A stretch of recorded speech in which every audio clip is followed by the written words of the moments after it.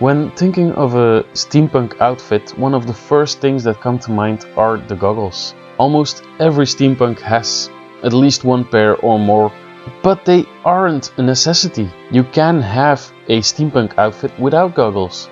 But if you do choose to wear goggles, then where do you start? What kind of goggles do you choose? How do you wear them? And how do they have to look? Well, maybe this can help.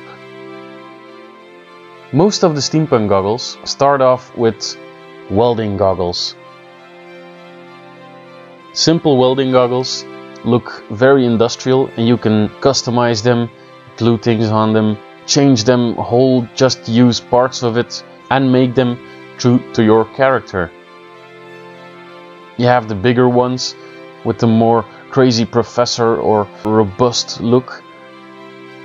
And you can all customize them according to your character.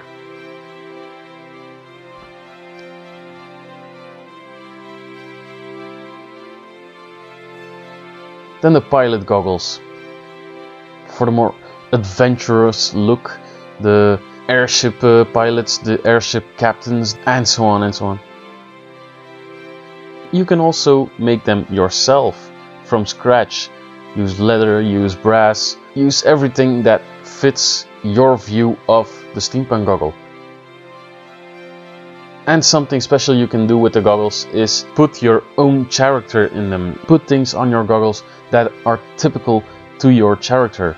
If your character is a rider, then you can put a feather in it.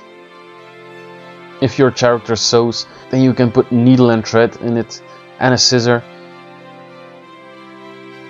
You can customize them as you want but it always looks good when you can match your goggles to your complete outfit.